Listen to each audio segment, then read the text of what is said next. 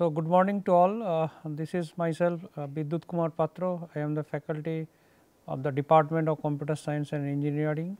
So, I have been here from 2011 and quite some time I am teaching this subject. Uh, yeah, I am really happy to again uh, offer this subject and I hope you will enjoy this subject. So, this is the ba uh, basic building blocks of computer system we started talking in the last class and then now we are focusing only the processor part okay.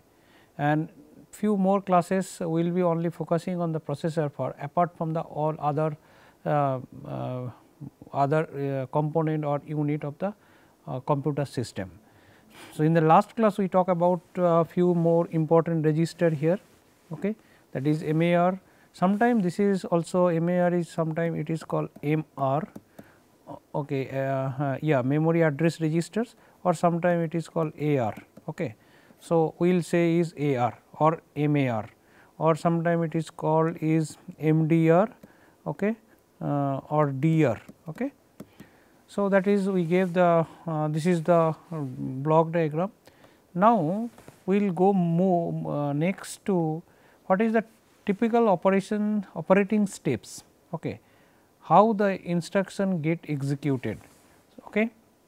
So, first is as I said earlier program reside in the memory through input devices.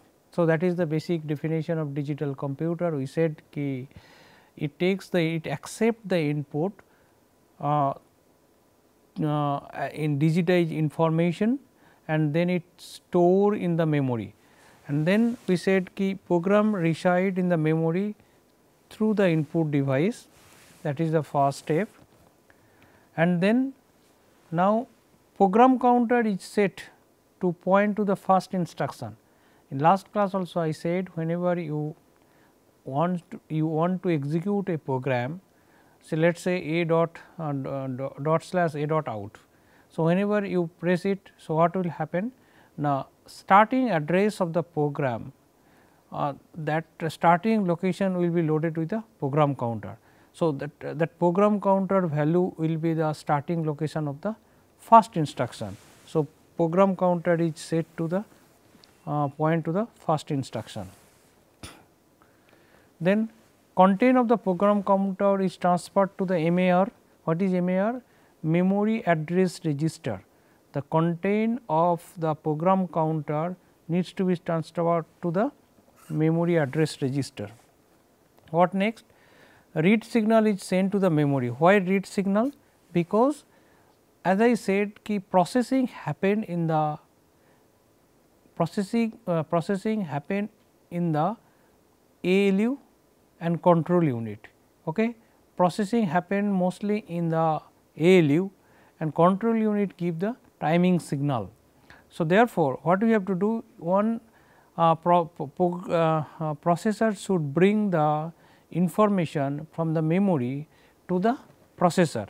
So, this is nothing but the it will read the data from the memory to the processor. So, that is something the it should issue the read signal. Okay. So, it should issue the read signal. Next the first instruction is read out and loaded into the MDR.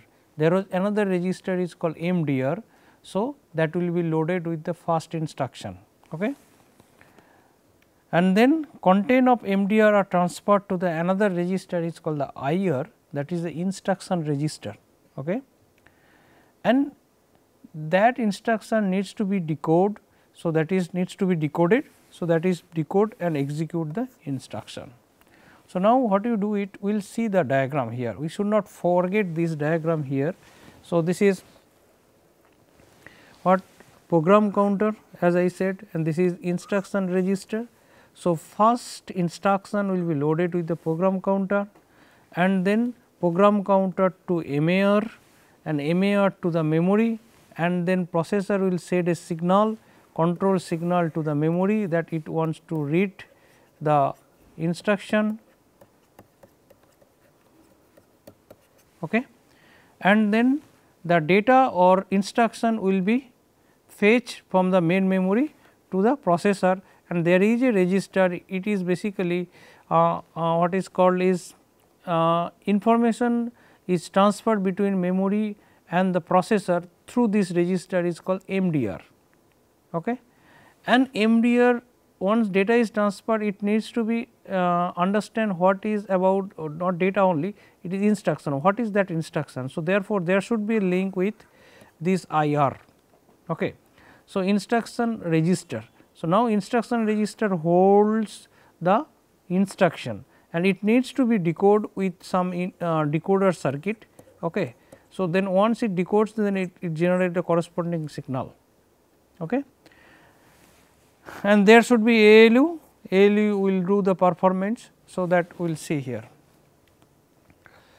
So, now once it is decoded, so this is the add operation or subtraction operation. So, it needs the operand and operand so let us say it is in the memory. So, therefore, we have to again the fetch the data from the main memory to the processor. So, therefore, memory to address to M again only the communicating uh, MAR it will it locates the address to the main memory. So, therefore, so MAR will be involved here and again data will be fetched uh, operand will be fetched. So, that means again read operation and again will involve with the MDR and then MDR to ALU okay. and then perform the corresponding add operation or subtraction operation in ALU. And once results is let us say A plus B, when we got the results A plus B and results need to be stored in C. So, corresponding results will be stored in a register inside the memory and inside the memory and if you know the memory address again we have to use the MAR to store the results. So, results will be stored from MDR to the uh, memory. So, this is the typical operation of step maybe these set of step I will be repeating uh, in, in, in, in few, few more classes here even two days also. Okay. Yeah, during the execution PC is incremented to the next instruction. So, once program counter is assigned program counter value is transferred to the where MAR memory address registers and then when it is fetched and while executing fetch decodes after decode okay, within this after decode while exe execution start for this instruction that time uh, that time what will happen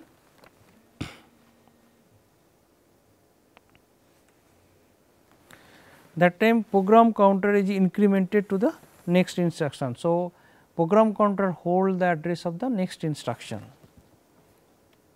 Okay. So, there is a concept is called interrupt. See in general what happened the program executes sequentially until or unless if you have some jump instruction. Okay. So, that is also a kind of uh, out of sequence Apart from that while executing a program some other device also can interrupt the currently executing program. Okay. So, therefore, normal execution of the program may be preempted if the some device required the urgent servicing. So, the normal execution of the current program must be interrupted and device raise an interrupt signal. What happened? Whatever executed in the current scenario, current program that entire thing needs to be stored that means results or program counter value everything needs to be stored and then the interrupted service routine should run. We will be seeing this one in later class maybe I will spend only 1 to 2 class you will be learning more in uh, in microprocessor class about the interrupt. Okay.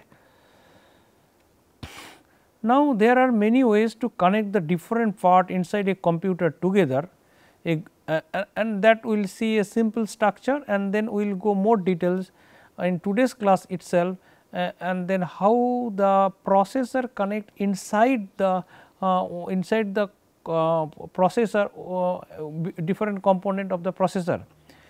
And this is a common term is we use a group of lines that serve as a connecting path for several devices is called the bus. Okay. So, that is address bus, data bus, control bus that is the common term we will use. So, this is one example of single bus. So, uh, we have a we have single bus that is connected with the all device. So, suppose uh, any any any processor wants to get the information. So, then it will use the same bus. So, a problem with this one at a time only two components can communicate more than two comp com component cannot communicate with this single bus structure and if the more than two components wants to communicate. So, then there should be a some arbit arbiter that will uh, uh, uh, uh, that will decide that which two device will uh, Uh, communicate. Okay. So, uh, that is the something called single bus. We will be uh, studying this one at the end of the classes when we will study the input output device. Okay. Now, we will talk about the speed issues. Okay. So, different devices have different transfer and operating speed. Okay. And if the speed of the bus is bounded by the slowest device connected to it, then efficiency obviously it will be low. Okay. And how to solve this issue that we will be seeing here. Okay. And there is one important part that is the performance. Okay. Because whenever we talk about always we want to get the machine which which is uh, latest that means which takes very less time to compute one task. Okay. So, therefore, the term the most important measures of a computer is how quickly it can execute the program. Okay. So, that is the main purpose of the performance analysis. Okay. Three factors affect the performance one is hardware design, how the hardware is, another instruction set. Okay. Same thing or same uh, program can be uh, can use the different different instruction set okay. and then compiler. Why compiler? Compiler basically generate the machine level language because most of the program we write in high level language and there will be a compiler which basically generate the machine level language. So, if the machine level language for the same task, if the number of instruction uses by compiler is in, it should be compatible actually the in, having the instruction and then compiler generated machine language it should be compatible. So, therefore, these three factors are highly affected or responsible for the performance of a computer system. Okay. So, here as you see processor time to execute a program depends on the hardware involved in the execution of the individual machine instruction. So, processor time here mostly we focus that how long processor is busy for doing this operations. Let us say I wrote a program to add two number. Okay. So, in this two number what will happen when you execute the program. So, then program will wait for for my input and then see I am maybe much faster or maybe you are much faster than me. So, therefore, if you include this time that waiting time, so it will not be very justifiable thing, it will not be very justice to the performance of the system, because it depends the time for it depends on uh, it, it is including the typing speed of the human being. So, therefore, whenever we say the processing time generally we consider the how long the processor is busy when you are giving input that time processor is not having any work. Okay. So, that is we say the processor remain in idle state. So, then processor time is basically the execute a program depends on the hardware involved in the execution of the individual machine instruction. So, whenever while executing the machine instruction whenever the processor will remain busy. So, that time is only considered as the processor time. Okay not that how long I spend for giving the input. Okay. So, processor and a relatively small cache memory can be fabricated on a single integrated chip to, to improve the performance. Okay, that we will study in more details how much cache memory is sufficient for running the uh, a program in much faster way without having the cache. Okay. There are different issues speed of the cache, cost and the memory management. Uh, uh, then if you have a multiple memory uh, which data should be available in cache, which is not in the main memory and so on. Okay. Now, this is one related term is something called the processor clock. There is something called clock, clock cycle and the clock rate. Okay. So, clock processor clock is nothing but entire operations every operation in the processor is controlled by timing signal. That timing signal is nothing but the called the processor. So, processor circuit basically it is controlled by a timing signal and that timing signal is called the clock. Okay. The to execute an instruction, so each instruction is divided into a several steps, each of which completes in one ideally each of which should complete in a one cycle. Let us say I have a operation that is add a b. So, now what will happen this is the instruction. So, instruction it has to be first is fetch okay. and then there is a task called decode and then there is actual performance it is not that again operand fetch okay, and then execution. So, so each machine instruction can be divided machine instruction can be divided entire time can be divided into small small step. So, that each subtask can be completed in a cycle. Cycle is nothing but a regular interval that is something called the cycle. Okay. So, now what is cycle per second and there is something that is something clock and the regular interval I said the regular interval regular interval is nothing but the clock period. Okay. Okay. And clock period see there is something called clock rate. Okay. As I said here there is something called the clock rate. Clock rate is nothing but the inverse of the clock period. So, we know the uh, what is called is time period. So, similarly here is something called clock period.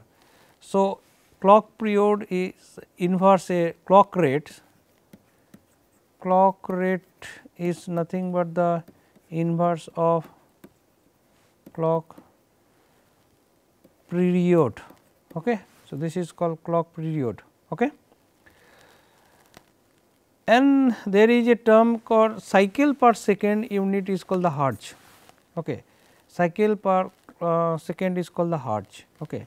So, therefore, clock rate r equal to 1 by p we can write where p is clock period.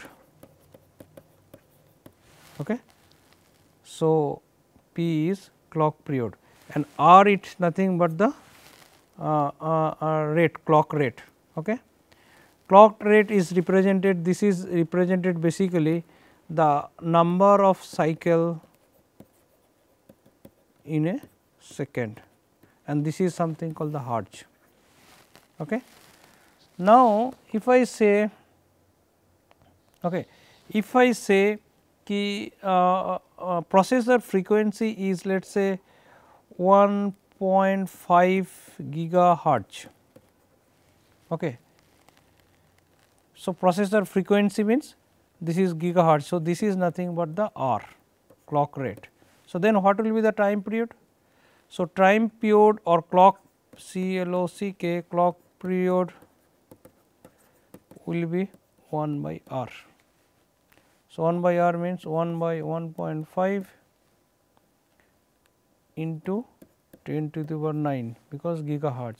So, this will give you 10 to the power minus 9 1 by 1.5 means what 3 by 2. So, 2 by 3 into nanosecond 2 by 3 means so it will be 0.66 nanosecond.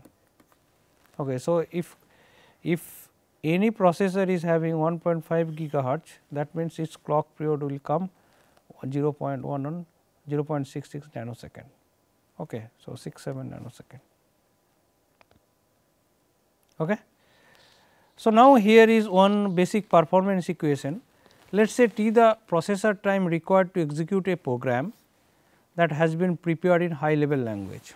Okay. So, that is T that now what is that that program have actual number of machine uh, n is the number of actual machine language instruction. So, number of instruction is n and as I said the each machine instruction will be divided into a number of step and each step will take only one clock cycle. Okay. So, therefore, so number of steps is s for each. So, total number of step step will be n into s and for each step it should be complete within a cycle. So, within a cycle means within a clock period. So, if r is the clock rate then clock period will be 1 by r. So, total time will be 1 into s into 1 by r where r is the clock period. So, t is the time. Okay. So, now question how to improve t. So, that is the main target that how the program will be executed fast. Okay.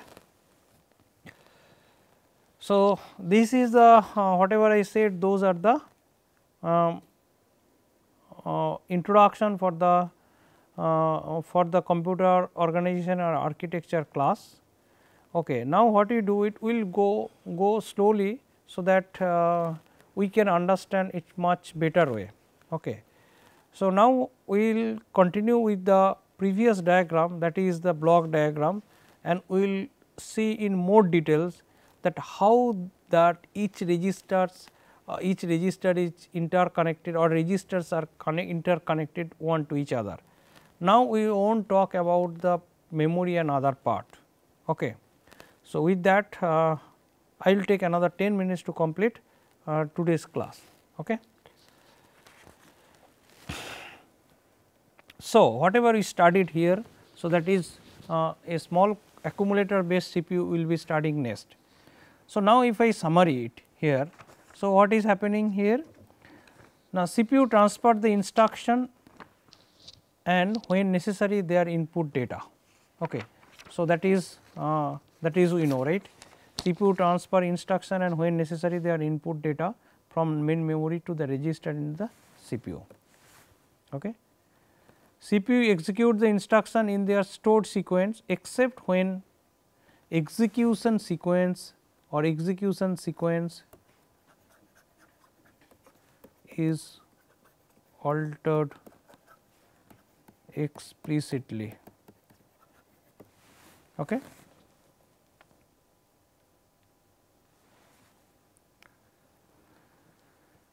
Then CPU transfer output okay CPU execute the instruction in the stored sequence. So, execution is done and then once is execution is done CPU transfer the output data from CPU register to the main memory. So, that I said just few minutes before in more details rather. Now, what you do it what we will do it. So, we will know this one is little more uh, elaborately. Okay. So, here we will draw the diagram. So, we will have something like one block here okay. we will have another block here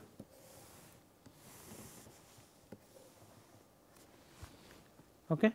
Now, what we studied key we will have something called yeah accumulator. So, we have something called one special register is called accumulator and then we obviously will have something called ALU.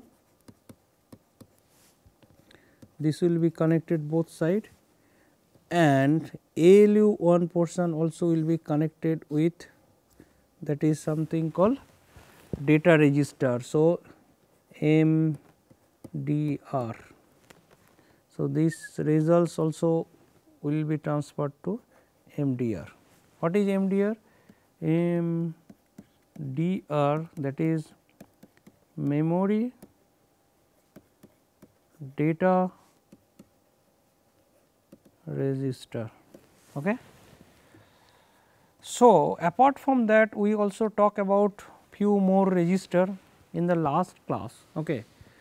So, we must have this is called program counter. Okay. So, we should have something called IR that is instruction register.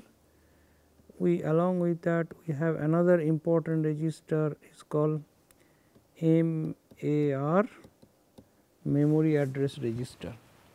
Okay.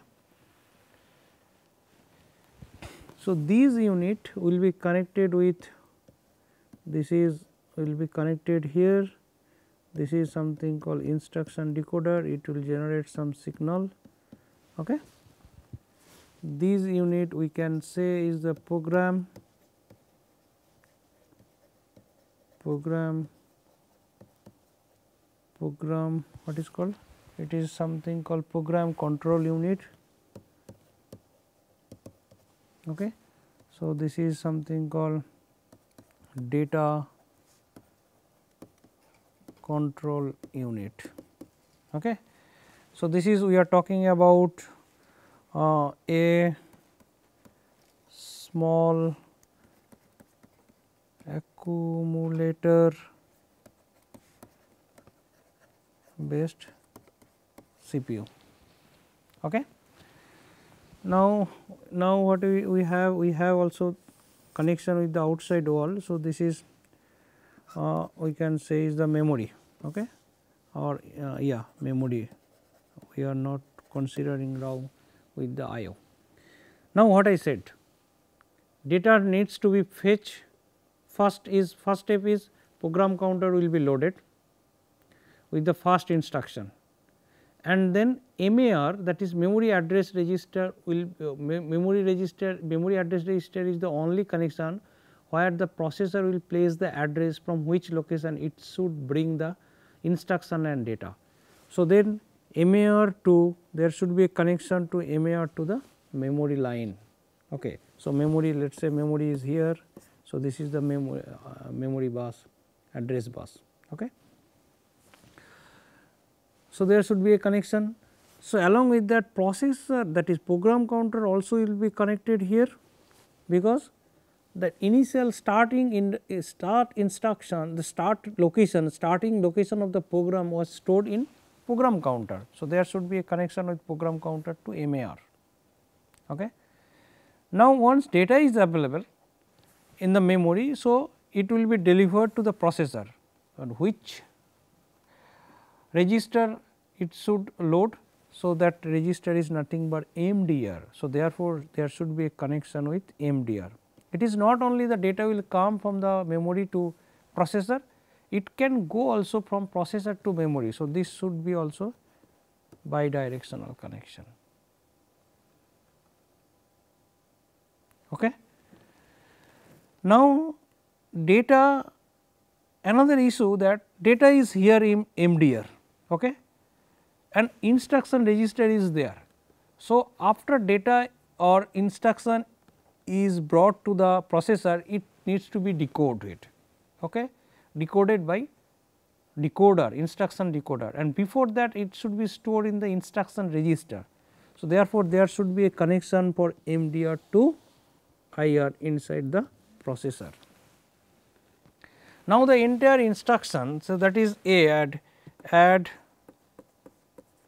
A B that is A is the location B is the location add is the instruction. So, everything is written in a 0 and 1 let us say add is let us say 0 0 1 a b location may be registered. So, let us say we can put 0 0 0 0 0 uh, 0 1 0 something like that. So, therefore, entire instruction entire instruction is now in the instruction register. So, now instruction register there is instruction decoder it will decode oh it, this instruction is nothing but the add. Okay. Along with that once it realize it is add instruction. So, it should have the operand. So, operand is where? So, this location. So, again the to connection to the outside uh, that memory with the processor is there the memory uh, MAR. So, therefore, there should be a connection from MAR to sorry IR to MAR. So, there should be a connection here. Okay. So, and sometime as I said if it interrupt happen or something happens sequence can change or there if there is a jump instruction. So, it will not execute sequentially. So, therefore, again another instruction will be executed. So, therefore, and that where where from this instruction will be executed that some it is written this location. So, therefore, there should be another link from here to program counter, program counter value will change. It is not that exactly the next instruction, it is a different instruction and then location will change. And then as usual once it is changed it will go to the MAR and MAR will fetch the data from the memory therefore, there is uh, unidirection and then data will be stored in the MDR, but again that instruction needs to be executed. So, there should be a connection with the IR. So, instruction register. As I said again there may be a sequential if it is a sequential so program counter is not required, but it may be, it may needs the operand. Okay. So, therefore, it should be connected with the MAR. So, this is the all details of the connection and this the, the, the, this generates so different control signal. Okay.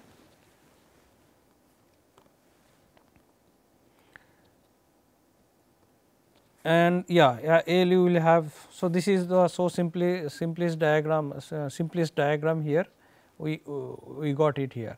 So, you just try to understand slowly how we are moving here. So, initially we talk about very simple diagram of the block diagram of the computer system and from each block diagram now we are focusing only the processor part. Okay. Next few classes we will be focusing on the more on the processor. Okay and then we will focus on the ALU and then control unit and then we will go to the memory and so on. But please try to understand say once it get the information, information will be in the main memory and that information or instruction needs to be brought needs to be um, uh, needs to uh, uh, needs to bring to the uh, what is called in the processor. Okay. So, that is something called fetch state and for this one the program counter role is there, MAR is role is there, MDR is role there for entire execution here. Okay.